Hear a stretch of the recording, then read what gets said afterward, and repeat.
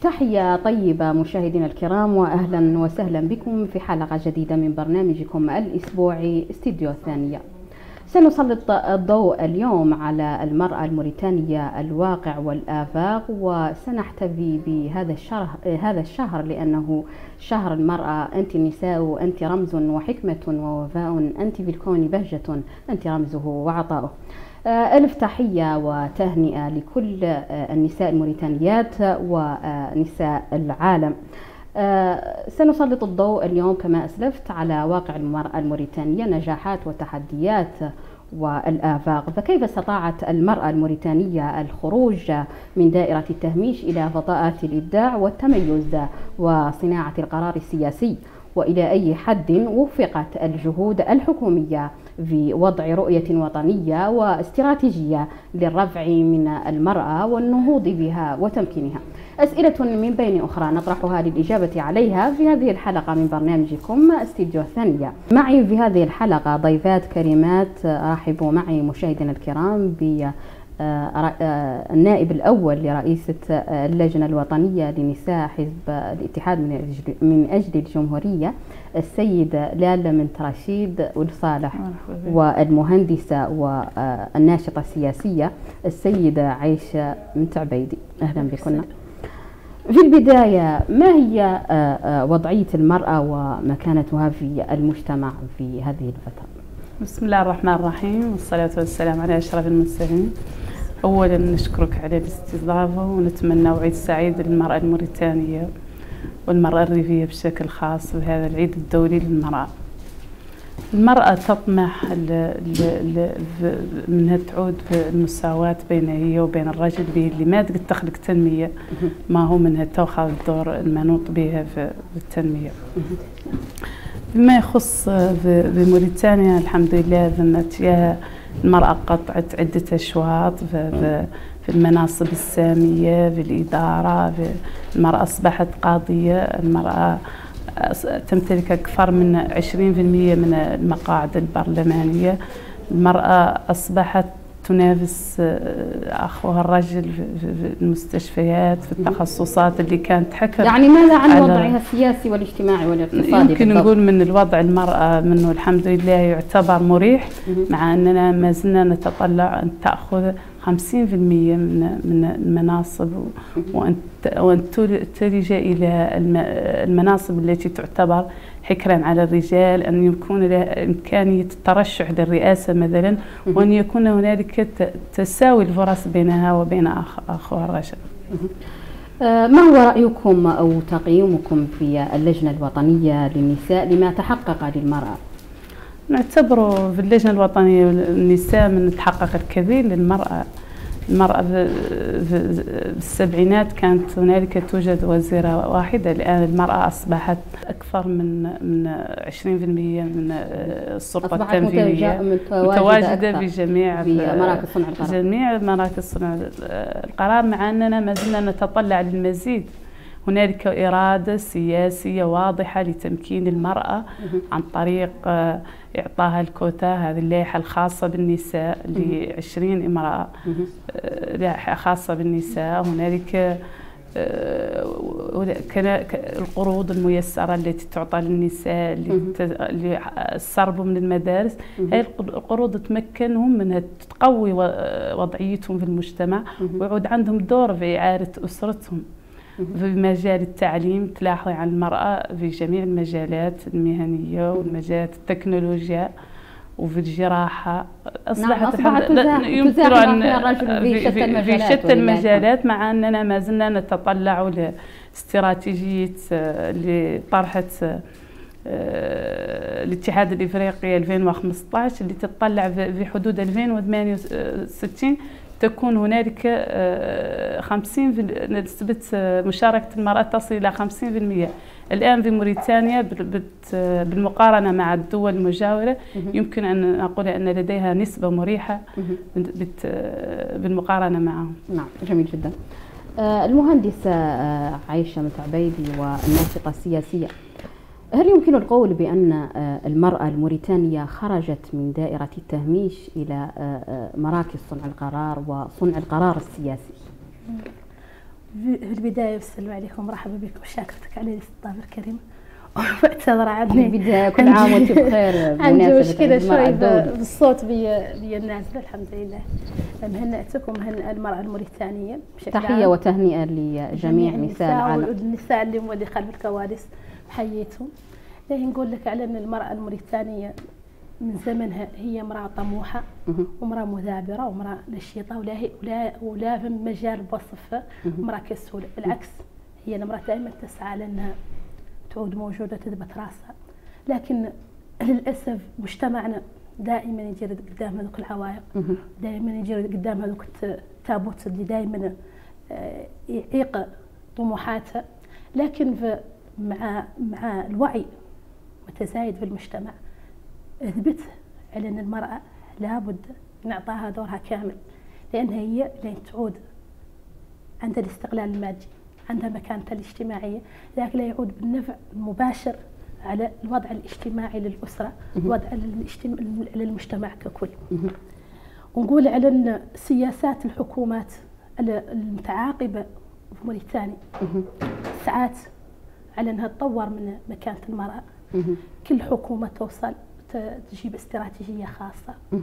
وتسعى على أنها تطور من من من مكانة المرأة في المجتمع. لكن الدور الأساسي وياك نوصلوا للنتيجه الحقيقية. لابد تعود الإرادة نابعة من المرأة نفسها فعلا. لابد تعود المرأة عندها ثقة بنفسها عندها الاعتماد على نفسها وذاك أول شرط فيه هو التعليم الصحيح. التعليم التعليم المكتمل. التعليم في المجال اللي اللي هي تطلب الحياة عاقبة للزمن. ما انك تتعلمي في أي تخصص؟ تعلمي في تخصص تعرفي على أنه لا هي عليك بالنفع عاقبة المستقبل ثانيا مكانة المرأة مجتمعنا نحن نعقله لأن الراجل ما زال صغير مازال من تربية الأولاد كاع في البداية فم تصنيف. فم فم المجتمع من ما زالت هي صغيرة. ينظر لها بنظرة دونية. نظرة على إنها- لا نمطية. هي نظرة دونية. على نظرة إنه- نمطية. على انه متحفظ عليهم كل شيء. ما يبقيهم يأخذوا في الليل ما يبقوهم يحتكوا بالمجتمع. عندهم نمط معين. نعم. يا ظروف الحياة ظروف العالم. آه، عاد فارضه على إن المرأة لابد تنتج ومنين عندك آه، تلاحظ إن الأسر اللي أكثر تعليم وأكثر رقي واللي مرتاحين على المرأة دائما متعلمة. دائما حتى لو عاد ما هي متعلمة آه، تعود مصرة على إنها ت- تمارس آه، دورها في المجتمع. المرأة عند منين تعود عندها هي استقلال مادي لا هي ترتاح هي نفسيا ولا. يرتاحوا أولادها. ولا هي تخفف على الراجل. وأنا ضد فكرة اعتماد الأسرة. الاعتماد الكلي على كل الرجل على الراجل. لأن في النهاية الراجل لا كائن كيف المرأة. إلا كلها خلقوا له ظروف قد يعمل فيها وقد ينتج فيها. لين يخلق المرأة ظروف معينة. تقدر تعطي أكثر قاع من الراجل. فعلا. المرأة في النهاية المرأة الموريتانية مرأة مناضلة وحيوية. انتقل لك الأستاذة لالا آه، لماذا لا يتم تذمين دور المرأة خاصة أنها تقوم بأدوار عدة في المجتمع؟ هي أم ومناضلة وعاملة ومربية. لماذا؟ لماذا لا يتم تذمين أدوار المرأة خاصة أن لديها مجالات شتى؟ حسب فهمي للسؤال المرأة تذمين دورها المرأة اللي تعود دور المساواة ما تعود ضمن دورها اللي عاد عندها مش- مشاركة في تنمية وطنها. المرأة يلا تثبت وجودها. تثبت أصلا من عند من عند الحلقة الأولى اللي هي في الأسرة. من عند منها تعود قادرة على تربية أبناء يصلحوا المجتمع ترسخ فيهم الوحدة الوطنية الدولة الوطنية تعاونهم إنهم يعود عندهم دور في مجتمعهم ويعودوا لين يأخذوا يحملوا رسالة. ثم تعود عندها دور في مجتمعها تعود تلعب دور في, محيطها هي الخاص عن طريق المشاركة في الندوات مثلا المشاركة في تنظيف الحي تع- تعود عندها دور في جميع المراحل المرأة هي, المرأة هي ركيزة المجتمع. هي الأم هي الأخت هي المربية. معناها من هدو ما نرى من تثمين دورها في إطار التثمين نرى منها يلا تو تو نعطاها المكان تستحق حسب الدور اللي تلعب هي. نعم. تقبضها هي راسها بجدارة. يعني تقوم بدور المنوط بها تقبضها هي بج- ب- بجدارة. نعم. آه، في أنتم في اللجنة الوطنية للنساء ما هو تقييمكم للعيد الدولي للمرأة هذا العام؟ آه، خاصة بإشراف معالي آه، الوزير. نحن في اللجنة الوطنية للنساء لينتهز الفرصة من نشكر السيدة الأولى على تشريفهن وده يدل على حرصها ودعمها للمرأة في جميع في في في الأنشطة اللي تقوم بهم. وكانت تميز العيد الدولي للعام من قمنا بتكريم عدة نساء كان لهم دور كبير في, في, في, في جائحة كوفيد 19 كورونا. حيث كانوا في الصفوف الأمامية. وبعض وبعضهم تعرض هو من نفسه للمرض ولا وذاك ما وقفوا عنه يتابع آه، مسيرته في, في, في, في التحدي لهذه الجائحة اللي راجي من عند الله تبارك الله تعالى يشفي المرضى ومنه يرحم الموتى وعنها منها توبة عن العالم كامل. وراهي المرأة الموريتانية كانت حاضرة بقوة بجائحة كورونا من عند التحسيس. نحن في اللجنة قمنا بالتحسيس عن طريق الفيديوهات. ديك السنة الماضية كانت التجمعات ممنوعة. غير كانوا فما فيديوهات على الواتساب وعلى التواصل الاجتماعي. كانوا فما تسجيلات مقاطع فيديو لتحسيس النساء من أجل حماية أبنائهم من أجل حماية وسطهم. ويعتبر عام خاص ومن المرأة هي أكثر حتحسس به تعرفي المرأة هي اللي من هي اللي تقوم بهذه الأعمال اللي اللي اللي البسيطة. كمثلا المرأة آه، بائعة الكسكس اللي كانت تصلا منها هي اللي هي الأب والأم هي الأب والأم وهي المعيدة. وهذا يدل راني نختار هنا زمن اللي قامت به الدولة عن طريق تآزر الدعم هذه الطبقات الهشة الخلق اللي عانى من من هذا الكوفر. فمثلا هم منعتهم إنهم يبيعوا منتوجهم. كان ثم مساعدات لهذه الأسر. كان ثم تمويلات صغيرة للنساء اللي اللي يبيعوا آه، الملاح واللي عندهم آه، الأنشطة الصغيرة المدره للدخل كان ثم ياسر من الدعم يسوى عن طريق التحويلات المالية يسوى عن طريق آه هذه مئة ألف أسرة اللي استفادت من ممتاز. من آه التأمين الصحي إيه. معناها ثم فيها كان آه كان ثم دعم كبير ونحن نذمنه في اللجنة الوطنية للنساء للطبقات اللي هذه الفترة واللي نقول لك من أكثر المستفيدين من هذه العطايا وهذا هم هي المرأة الموريتانية كانت أكثر هذه التمويلات كانت أكثر من 54% استفادت منها امرأة حسب نعم. إحصائيات نعم. بالحديث عن المرأة العاملة الموريتانية بشكل خاص كيف يمكن أن توفق المرأة بين بيتها لأنها هي مربية أجيال وبين عملها حسب المرأة تستطيع أن توفق بين الاثنين عن طريق ترتيب الأولويات هل يمكن القول بأن المرأة العاملة دائما فاشلة بيتوتيا؟ لا بالعكس المرأة العاملة أكثر حرص على على تعليم ودعم أبنائها للمرأة العاملة. والعمل قدرناه منه من الساعة الثامنة إلى الساعة الخامسة. يعني تحاول من تخرص ذا اللي يعدلوا الأبناء في اليوم. هي اللي تعاونهم في المراجعة. هي اللي تقعد معاهم. ولا يرد معاهم رجاج يمتلك القدرة الثقافية اللي تمكنوا من يوجههم ذا اللي في صالحهم. معناها من هي أكثر قرب أنا قد نختار مرأة عاملة هي أكثر قرب لأبنائها من قد تعليمهم ونصيحتهم. من امرأة قدرنا قاع منها غير عاملة وتظل النهار كامل في البيت لين تعود واحدة لا التلفزيون والتليفون ما عنده أي فايدة على الطفل اللي لا يرجع منهك الساعة الثانية. إني نشوفها هي واحدة في ذا يوحل هو في نفس الشيء يقبل ما هو التلفزيون تري خلاص. بالعكس الآخر لين يجي يتخرص اللي آه. يتخرص اللي وحال هو في شنو؟ من دراي كانوا اللي عاد خرص التلفزيون عنده لا نص ساعة مراجعة عندها وقت الرد باط تركب من من تربيتهم إنك ترد معهم تعرفي أفكارهم وتوجهيهم لعلى يعود يحملوا أفكار ما جايبينها من الشارع ما ما تتناسب مع مع مع مع مصلحتهم وتقدمهم في المجتمع. معناه أنا نرى من المرأة العاملة اللي توفق في تقسيم وقتها عنها أشبه هي في المنزل من المرأة اللي غير متعلمة. وبالمناسبة راني أشيد بخطاب السيدة الأولى في المؤتمر الثامن العربي اللي دعات فيه المرأة منها منها دعات فيه عن إعطاء النساء الأولوية في المنظمات الدولية العربية. اللي هم يملكوا الكفاءة اللازمة وذا كامل يعتمد على التعليم كيف ما قالت الأخت عايشة أي المرأة اللي متعود ما هي متعلمة مهما كانت الجهود اللي تقوم بها الدولة ومهما كانت السياسات ما له ما له قد تعدل الدور المنوط بها. يسوى ملي نسبة تعليمها شنو؟ يسوى التعليم العالي والتكنولوجيا توصل للمناصب العالية حتى أبسط نسبة من التعليم يعملوا التكوين المهني يمكنها من عندها دور. المرأة لا بد لها من أجل تمكينها منك تقويها في المجتمع المعاصر منك تعطيها الثقة في نفسها منها راهي أي تنمية بدونها هي ما هي صالحة.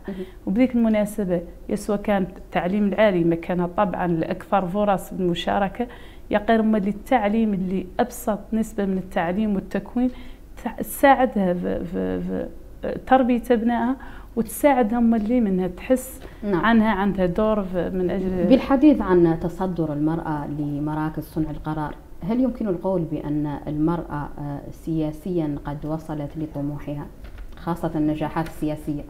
آه، آه، أنا كما قلت في البداية المرأة وصلت لنسبة 20% ونحن مذمنين قال ما زلنا نطمح الأكثر. ما زلنا نطمح المرأة توصل 50% من المناصب التشريعية والسياسية وفي المناصب التنفيذية. وراهي بالمناسبة المرأة الموريتانية هي الوحيدة اللي عادت وزيرة خارجية في الدول العربية. وهذه هذه هذا امتازت به المرأة الموريتانية. المرأة الموريتانية هي أول امرأة عادت آه، مثلا على على المفتشين الدولة. ذم مناصب وصلت نقدر نقول المرأة الموريتانية منها تخطت أشواط وما زالت تريد المزيد نعم. من أجل أن تحقق آه، ما نعم. تريد شكرا لك. المهندسة آه، عايشة من تعبيدي هل نجاحات المرأة السياسية كانت على قدر الطموح؟ نختار شوي نعقب على النقطة اللي كانت الاختلال أنا دائما بعتذر على الصوت. حقيقة صوتي مقبوض بشكل غريب. النقطة اللي قالت في قضية على أن المرأة العاملة على أنها دائما المرأة العاملة عندها هي من نفسها إحساس أنها مقصرة حق أولادها دائما تبذل جهد أكثر من المرأة الموجودة في الدار. وثانيا زايدة على ذلك يساعدها مستواها المادي والدخل الاستقلال المادي لأنها توفر بعض الاحتياجات لأولادها أكثر من المرأة اللي ما هي ما هي عاملة. هي دائما تختار ترضيهم شوي تضيف على ذاك اللي يعطي الوالد من أجل إرضاها بان حاسة إنها تعطي فترة أطول عن العمل. ما يخص سؤالك عن قضية اللي وصلت له المرأة الموريتانيه هل كان على قدر الطموح؟ نعم. لا ابدا. شفت المرأة الموريتانيه دائما لين توصل لمرحلة تطمح الاكثر الاكثر وبالحقيقة ان إنها كما قلت لك ان جهود كاملة مبذولة على إنها تتقدم لأن المرأة ترى مكانتها المناسب لكنها ما زالت تحتاج الكثير. لذلك ترى أنا نعتبره لا نوع من المجاملة ما زال لا شيء مجاملة. يعني المرأة يمكن تقول أنها وصلت ل... وصلت للمستوى اللي الدور وتعود حقت فعلا طموحها لين يعود مات لين أعطاها تمييز إيجابي. لين تعود عاد هي هي والراجل. كلها لا يشتغل لا بكفاءته ما ما ما مديون له شيء على انه على إنها هي مرأة والله.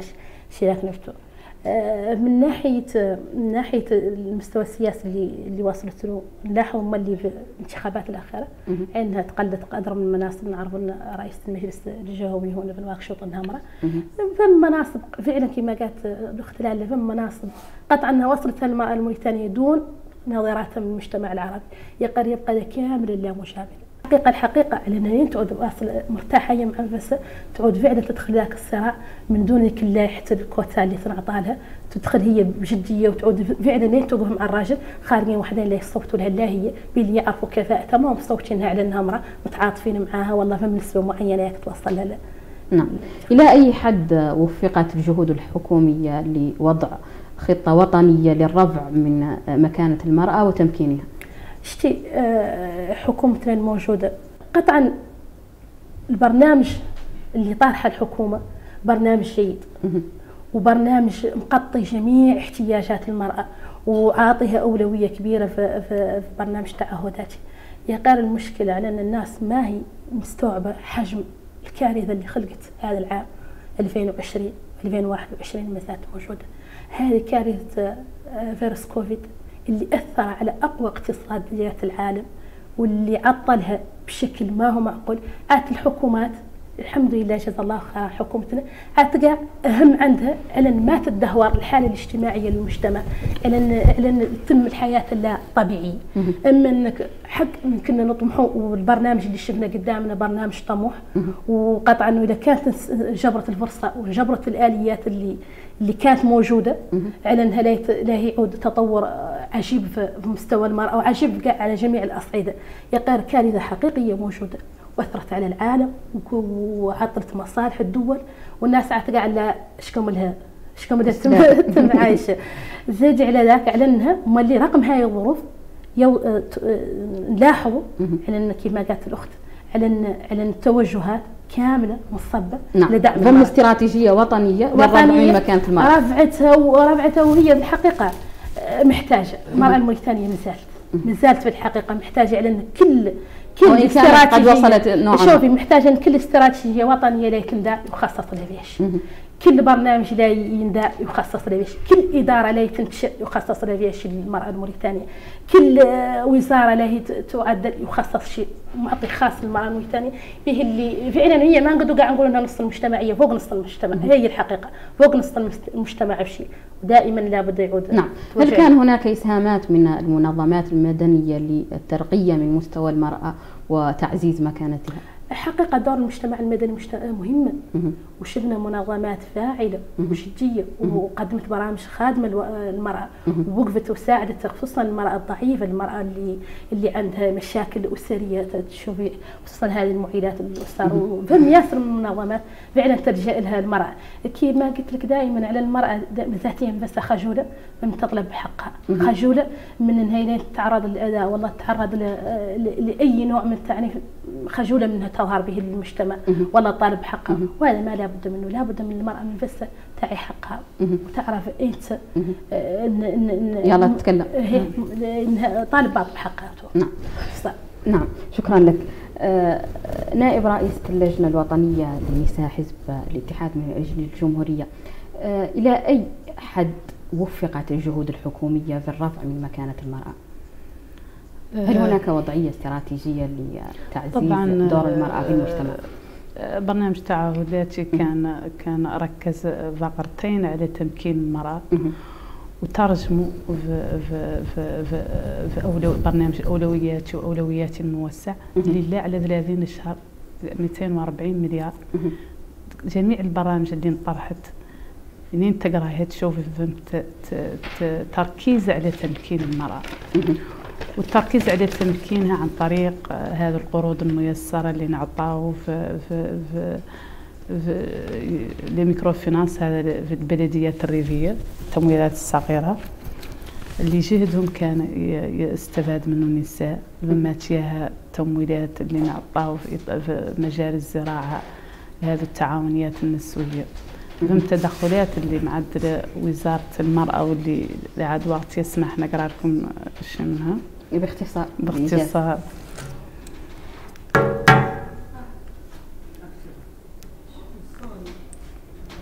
نحن في, في وزارة المرأة عدلت برنامج استفادت منه 250 طالبة من الأسر الفقيرة دعم مالي بقيمة الرياضين الفوقية للشهر لهذا البنات. اقتناء معدات تكوين ل 2300 امرأة في الحوضين والعصابة جميل جدا. تعزيز قدرات ذات 900 سيدة معيلات الأسر بغلاف مالي قدره 64 مليون مملوكية واستفادة 602 من التعاونيات بغلاف مالي قد قدره مليار و153 أوقية. استفاد 126 فتاة من خريجات التعليم العالي ومن التكوينات و90 تكوين 90 مربية تم اكتتابها ما زالت قاعد الاكتتاب تمكين 90 مربية. تمكين 6000 امرأة ودمج 3000 شخص من ذوي الإعاقات. 50% منهم من النساء. معناه ثم هذا برنامج تعهداتي مركز على أن المرأة تمكينها إحصائيات كانت موفقة. آه، الإحصائيات كانت موفقة. هذه السنة وست أشهر فات تخرج وكان قاعد من يقد يخرج أكثر كانت ما قالت كيف ما قالت الأخت عائشه كان ما خلق هذا في التراجع اللي خلق على جميع دول العالم بين جائحة كورونا. أدات من الدولة من تعدد أكثر تعدد التدخلات الاجتماعية لحد من هذه من تداعيات هذه الجائحة. مهم. وبالتالي تقدر تقولي من خلق نقص شوية غير هذا النقص كان بالتوازي معه كان تم إنجازات جبارة من أجل تمكين المرأة. وإعطاها الدور المنوط اللي هي توصل للمكانة. يقدر إذا كان ما يقد يخلق مرأة لابد تساعد في الرأس هو قلنا لك من المرأة هي المربية. لين تعود المرأة بناتها لابد لها منهم يوفوا قرايتهم. تفرض هي على المجتمع من التساوي ما نقول أنا هذا الطفل لا يقرا وهذه بما انها الطفل لا ي- لا لا يتم. يقعدوها ونعدلوا لها اسره بالعكس أنت كمتعلمة تفرض على المجتمع. عن بنتك وولدك سيان إلى الاثنين تقريهم إلين يوفوا قرايتهم اللي قادرين يلحقوا. معناه أنك تعدلي أقصى جهدك من تعليم في داخل الأسرة مساوي عندك الابن والبنت كاملين تركزي على دراستهم ياك يعود عندهم الدور في ذا لو كل منهم ما قدوا يقراوا واللي قدوا يعدلوا تكوينات مهنية تحاولي منك تسجليهم فيها تعطريهم تح- المرأة خاصة لا تملك هي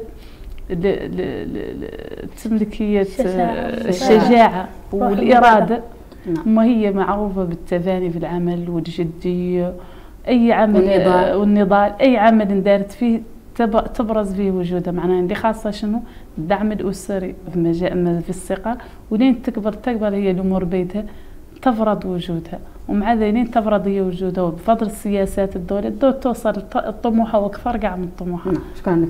آه، المهندسة في الختام آه، ما هي التحديات التي تواجه المرأة في المجتمع الموريتاني؟ وإلى أي حد تطمح المرأة سياسيا؟ تحديات ما توف تحديات تحديات المجتمع اولا. قلت إنه مازال ياسر مشي معه مساعدها فيه مهم. آه، طموحها ما عنده حدود مهم. بقي كع- ك- كأي بشر دائما يطمح لتحسن وضعيته. في كل مرة اللي نختار نقول على ان على إن التعليم أساسي. نعم بالختام. في الختام على إن التعليم أساسي إن المرأة لابد تكون متعلمة. ولا بد أنا ك ك كمتلقي لين ندخل العاصمة الوركشوب مهم. نلاحظ على وجود المرأة ونلاحظ على ذكيها تحاول إنها تعود في المجتمع من خلال المحلات قد كان مهم. دروس مشكلة المرأة الموريتانية لأنها توعى مع الصباح تبقي تعدل شيء. مهم. تبقي تشارك في المجتمع دائما دائما ما فهم ما فهم تخطيط آه، بعيد الأمد ما فهم استراتيجيات بعيد الأمد. يعني نختار هنا شيء أنا اطرح نقطة نختار نوسع عليها على أن. فعلا الحكومة ساعية لتطوير ال- تطوير المرأة وتمكينها ومن خلال اللي وزارة الشؤون المرأة اللي عليها السيدة النهام شخصيتية فعلا مقدمة ياسر من الإنجازات مقدمة ياسر من الدعم للمرأة. لكن الأهم دائما وجود دورات تكوينية. الأهم دائما وجود توعية للمرأة. دورات تكوينية هون نقولها. على أن على أنها قاعد تعود دائما موجودة مستمرة ما تعود فترة معينة يعود في مراكز ل- مثلا التعليم الفني مراكز أي شيء مهني يقد ي- يساعد المرأة على أنها تتطور. فعلا لأن مستوى التعليم بالمرأة المرأة في موريتانيا متدني جدا. متدني جدا نعم. هذه هذه النقطة لابد الناس تركز عليها لأن مستوى التعليم متدني ولا بد المرأة ت- توعى ولا بد أن حد يشوف أخته والله صديقته ما هي قارية ينصحها أنها تمشي تقرأ تتعلم في أي مجال كانت قد نعم، شكراً. الاستقلال المادي هو أهم شيء شكرا لك شكراً. آه، هل من كلمة أخيرة في الختام؟ آه، اولا نشكركم على نشكر الاستضافه على ولين عشق. نزيد الله على من ما قد المرأة ما قد تحقق ذاتها مو بالتعليم والرجاء المرأة التركيز على التعليم. تعليم، تعليم، تعليم. والتوعية من اخواتنا اللي في الاحزاب وفي المنظمات المجتمع المدني. توعية في جميع في, في الأرياف وفي في, في المدن من أجل أن المرأة منع منها التسريبه والتكوينات المستمرة لربات المنازل من أجل منهم يكونوا بناتهم عن التعليم هو أساس كتسو بدون التعليم ما تقدر المرأة تحقق ذاتها. وشكرا نعم. بك. شكرا لك. إذا مشاهدينا الكرام إلى هنا نكون قد وصلنا لنهاية هذه الحلقة من برنامجكم الأسبوعي استديو الثانية الذي كان عن المرأة الموريتانية الواقع والآفاق. وإلى أن يضمنا وإياكم لقاء آخر. هذه تحيات حنان محمد سيدي في أمان الله وحفظه.